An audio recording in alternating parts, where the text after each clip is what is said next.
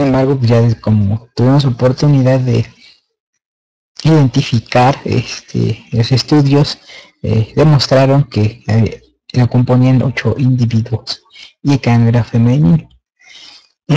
Sin embargo, se ha quedado muy arraigada esta eh, idea de que el que fuera el último Tlatoani Mexica aquí aquí quedó. Sin embargo, eh, no, no era bastante suficiente, perdón, no la suficiente evidencia de que así sea. Sin embargo, pues es algo que ha quedado marcado profundamente y de hecho se llegan a realizar danzas, celebraciones, conmemoraciones a, a este personaje de la historia Anahuaca Cuauhtémoc. Esto pues, nos va a servir también de eh, referencia para iniciar con nuestra quinta emisión eh, en la que vamos a tener oportunidad de identificar cómo justamente en este siglo XX comenzó esta eh, revolución, si le denominamos, esta fiebre para coleccionar estos objetos arqueológicos y, propiciar eh, actividades que han sido, por un lado, eh, sustentado el olvido de las comunidades en las sierras de Guerrero. Eh, se dio un fenómeno impresionante de, saqueo de sitios y por esto mismo muchas de las piezas pues, no se encuentran aquí.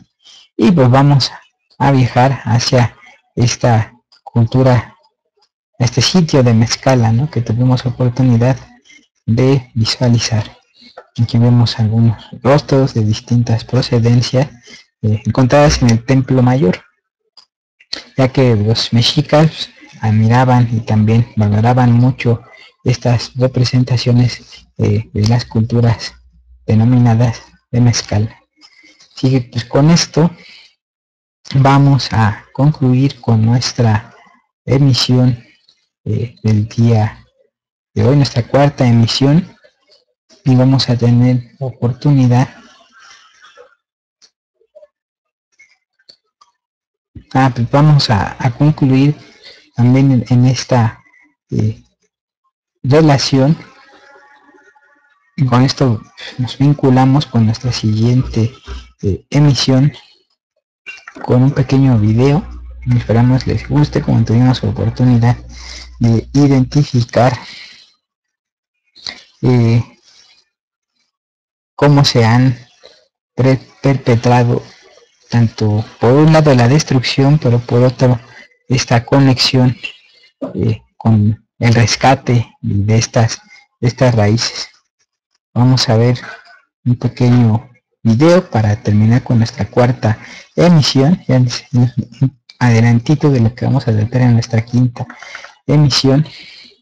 Y espero que eh, disfruten este, este video recordamos también esta hace mucho tiempo. lo hago pequeñito para que lo apreciemos aquí en pantalla.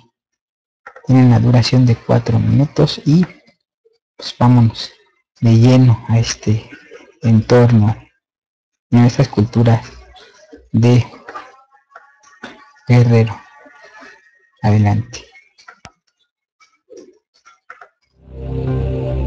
Hace mucho tiempo, en la tierra del Tlacolol, se vivía un ambiente de intranquilidad y desesperación, debido a que todas las noches sus cultivos se veían amenazados por una terrible bestia de enormes garras, pintoresca piel y feroz rugido, el tigre.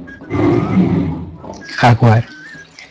¿Qué vamos a hacer, señor Maiso? El terrible tigre está acabando con nuestras cosechas. Tenemos que buscar una solución para enfrentar a este maldito animal. Ya lo hemos intentado todo. El tigre es fuerte y rápido. En una de esas nos puede devorar.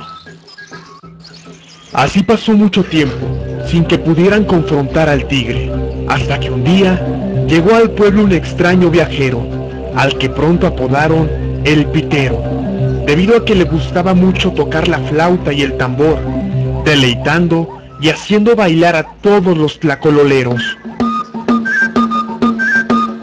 ¡Qué bien tocas tus instrumentos, Pitero! La fiesta no sería igual sin ti. Y seguiré tocando toda la noche. Ustedes disfruten la alegre música que produce mi tambor y mi flauta. Te agradecemos mucho, mi estimado Pitero, pero no podemos quedarnos. Te recuerdo que debemos cuidarnos del malvado tigre. El pitero, al ver el problema que enfrentaban los tlacololeros, recordó que los tigres temen a los truenos, así que con sus conocimientos musicales y con ayuda de los tlacololeros, construyó un instrumento que imitara el sonido de un trueno. El instrumento fue llamado chirrión. Pitero, esa es la mejor idea que se te pudo haber ocurrido. Ojalá no funcione. Yo creo sinceramente que esta será la solución. Pero esto no acaba aquí. Cada uno de ustedes debe tener un chirrión. Tenemos que armarnos de valor y salir a cazar ese tigre.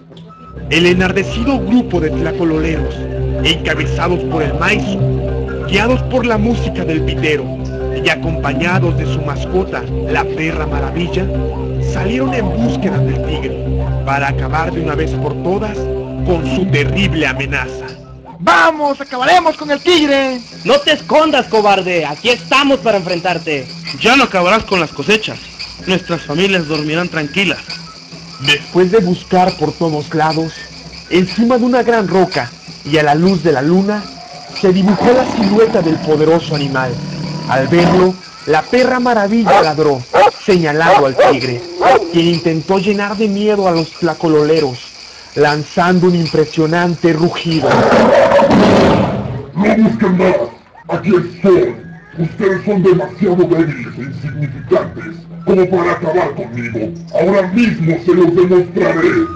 El tigre, confiado por la enorme fuerza que poseía, pegó un gigantesco salto hasta caer en medio de los tlacololeros, quienes se asustaron al tener enfrente a semejante animal.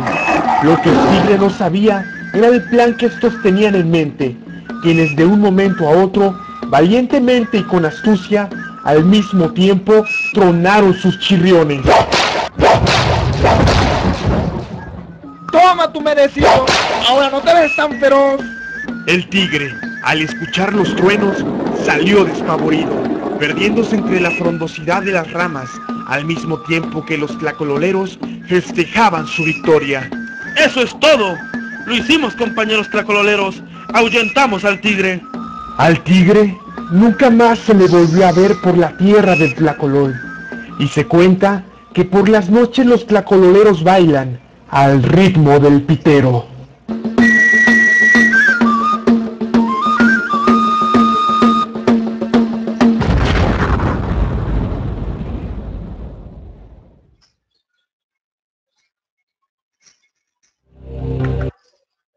Bien, esa fue la leyenda de los tlacoloreros. Eh, y pues con esta eh, nos retiramos nuestra cuarta emisión. Agradecemos su compañía a través de este canal Toltecayotl, Anáhuac Toltecayot AC, en su programa se llama Anáhuac Unidad en la Diversidad. Kuali Tonali, Kuali Yowali, Kuali Mikanash. Buen día, buena noche, buen aquí y ahora. La Socamati. Gracias.